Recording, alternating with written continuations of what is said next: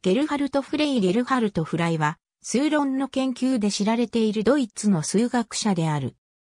フライ曲線は、フェルマーの最終定理を解決する有力な手がかりとなった。チュービンゲン大学で数学と物理学を専攻し、1967年に卒業した。1970年にハイデルベルク大学で博士号を取得し、1973年に大学教授資格を得た。1969年から1973年はハイデルベルク大学の講師で、1973年から1975年はエアランゲン大学教授、1975年から1990年はザールブリュッケン大学教授だった。現在はデューエッセン大学実験数学研究所の数論の教授である。彼の研究領域は数論と大数幾何学の符号化理論及び暗号論への適用である。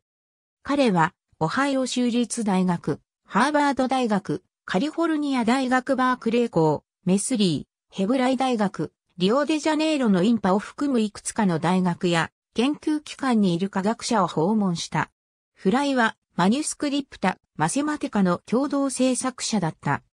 1996年にフェルマーの最終定理に関する研究でガウスメダルを受賞した。1998年以降はゲッティンゲン科学アカデミーの会員である。ありがとうございます。